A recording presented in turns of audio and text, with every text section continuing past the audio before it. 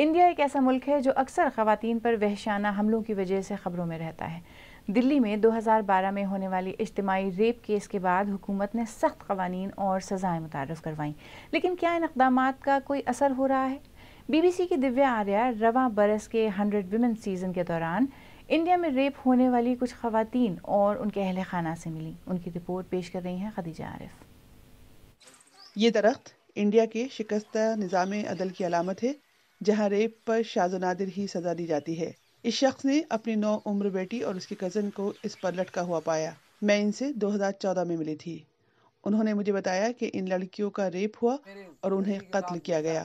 وہ چاہتے تھے کہ ملزمان کو سرعام پھانسی دی جائے۔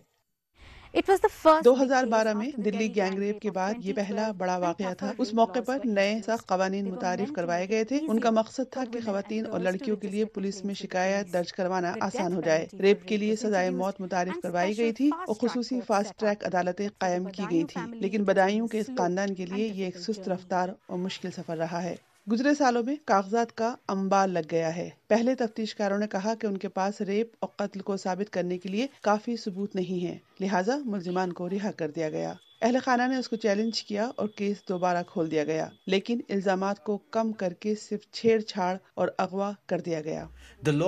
قانون کے مطابق مقدمات کی سماعت فوراً ہونی چاہیے لیکن عدالتیں ہماری درخواستوں پر کان نہیں دھرتی۔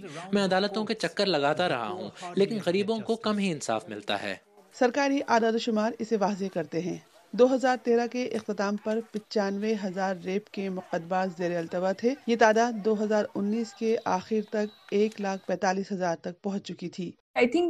میرے خیال میں یہ کھوکھلے مقبولیت پسند اقدامات ہیں جن کے ذریعے وہ لوگوں میں اس مخصوص واقع پر غم و غصے کو ٹھنڈا کرنے کی کوشش کر رہے ہیں۔ ان قوانین کو نافذ کرنے کے لیے قانونی طریقہ کار کو تبدیل نہیں کیا گیا ہے۔ دلت خواتین جو ہندو ذات پات کی درجہ بندی میں سب سے نیچے آتی ہیں، ان کی راہ میں رکاوٹیں اور بھی زیادہ ہیں۔ منیشا ایک دلت ایکٹیوسٹ اور وکیل ہیں۔ ایک عورت جنہیں ہم مایا کا نام دے رہے ہیں، ان میں سے ایک ہیں۔ ایک اونچی ذات کے شخص نے انہیں ریپ کیا۔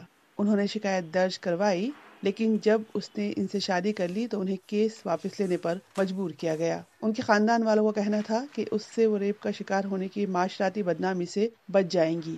آتا تھا۔ وہ نشے میں گھر آتا تھا اور اس کے خلاف مقدمہ درج کروانے پر میرا استحصال کرتا تھا۔ وہ مجھے مارتا تھا اور میرے انکار کے باوجود مجھے غیر فطری جنسی فیل کرنے پر مجبور کرتا تھا۔ آخر کار مایا بچ کر بھاگ گئی۔ منیشا نے ان کا ریپ کے دوبارہ کھولنے میں مدد کی۔ وہ جانتی ہیں کہ یہ خطرناک کام ہے لیکن اپنے لوگوں سے محبت انہیں پرعزم بناتی ہے۔ لوگوں کے ساتھ ہو رہی ہے وہ وکٹم بن کے مر رہے مجھے ایسے نہیں مرنا مجھے لڑتے ہوئے مرنا ہے مجھے ایک وکٹم کی طرح نہیں مجھے ایک لیڈر کی طرح مرنا ہے۔ جو اس دلت علاقے میں خاموشی ٹوٹ رہی ہے۔ ریپ کی سزا کے لیے قانونی اصلاحات کا محدود اثر پڑا ہے لیکن خواتین اور گھرانے اب انصاف کی خاطر لڑنے کے لیے تیار ہے چاہے اس میں کتنی ہی دیر کیوں نہ لگے۔